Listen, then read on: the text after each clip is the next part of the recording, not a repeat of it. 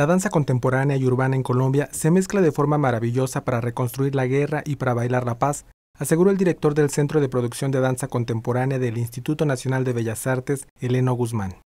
El artista escénico, gestor, promotor y curador de la escena contemporánea internacional fue invitado por el Ministerio de Cultura de Colombia para que conociera con otros programadores de Bolivia, Chile, Alemania y Reino Unido a las compañías de danza en las ciudades de Cartagena, Cali y Bogotá.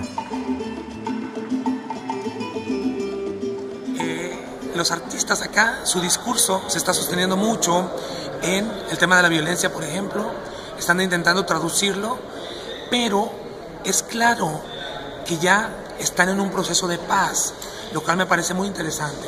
Es decir, vio la diferencia y la relación con lo que ocurre en México. En México apenas estamos viviendo eh, un estado de violencia que los artistas, digamos, lo están viviendo en tiempo real y traduciendo en tiempo real.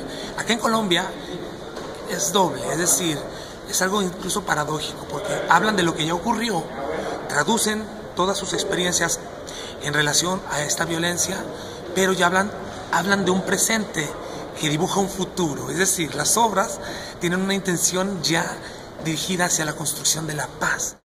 Con información e imágenes de Edelmiro Franco, corresponsal en Colombia, Notimex.